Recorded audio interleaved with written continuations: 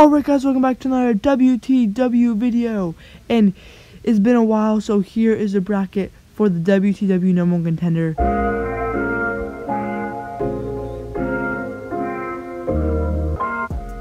Here he is. Yep, so the winner of this will fight Jones the GOAT.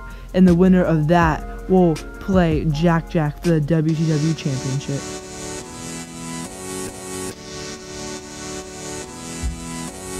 Yep, so it's Poah and the Ninja here, guys. So let's see what happens.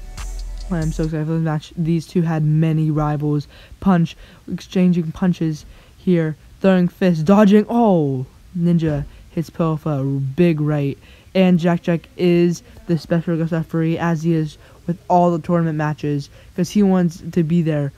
Oh, big kick to the face. He wants to be there right with them to see who who's his challenger. Jones the Goat is looking oh Jones the Goat is looking nice in his match against the Dukes, a veteran, a a time a two time next generation champion and a one time WCW champion. So that's a big feat if you beat the Dukes fair and square. So I mean there's gotta be some messages. Oh tries to go for the spear. Dodges it, kick right to the face. Pose in the corner. What's he gonna do here? He's saying get up. I thought he was gonna do the barrel roll. Big rights. See, the ninja isn't for that. Oh, the ninja isn't for that fancy flips and barrel rolls and stuff like that. He just punches, hits hard, elbow drop. Wait, what? Oh! Jack Jack making a dumb move, trying to help him up. Noah's Poah's like, I don't care about you. You're not my friend. As Ninja suplex his Poah. Jack Jack's gotta be mad, but he can't do anything. To be fair, if the ref touches the guy, he can fight back. Spear connects. Finally, he's like, "What you want?" Oh, punches him down. He just going melee. What's he doing now? What? He just went out of the circle. Jack Jack rolling around. That punch must have hurt.